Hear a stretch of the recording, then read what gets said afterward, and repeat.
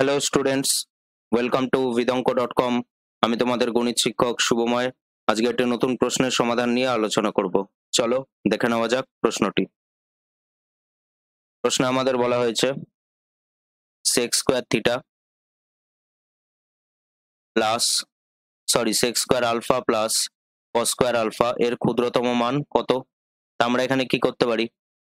Sex square আলফাকে সেক আলফার whole square লিখতে পারি প্লাস cos আলফাকে cos স্কোয়ার আলফাকে cos আলফার whole square plus two minus two বা আগে আমরা মাইনাস সাইন দিতে পারি।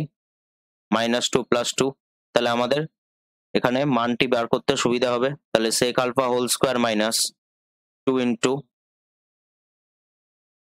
one plus cos alpha whole square plus two তাহলে এখানে আমরা কি লিখতে পারি? সেক আলফার হোল স্কোয়ার মাইনাস টু ওয়ানকে আমরা কি লিখতে পারি? Sec alpha cos alpha plus cos আলফার হোল স্কোয়ার প্লাস টু এখানে আমরা কি বলতে পারি?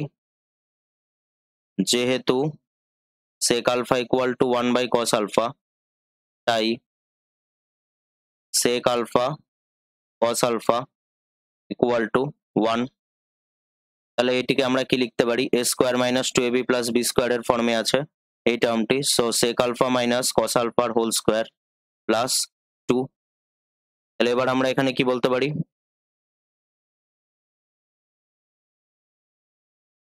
আলফার যে কোনো মানের জন্য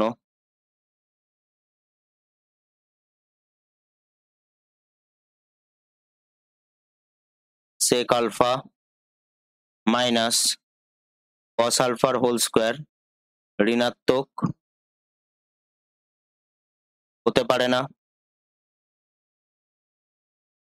ঋণাত্মক হতে পারে না। অর্থাৎ শূন্য বা ধনাত্মক হতে পারে। তাহলে এখান দিয়ে আমরা কি লিখতে পারি? সেক আলফা মাইনাস কস আলফার হোল স্কোয়ারের ক্ষুদ্রতম মান শূন্য। তাহলে সেক আলফা মাইনাস কস আলফার হোল স্কোয়ার প্লাস টু এর ক্ষুদ্রতম মান zero plus two equal to two তাহলে আমরা এখান দিয়ে কি বলতে পারি? Sec square alpha plus cos square আলফার ক্ষুদ্রতম মান টু তাহলে এখানে আমরা যদি দেখি, এখানে যদি আমরা প্রশ্নটি দেখি, কোন অপশন হবে? অপশন সি তাহলে সঠিক উত্তর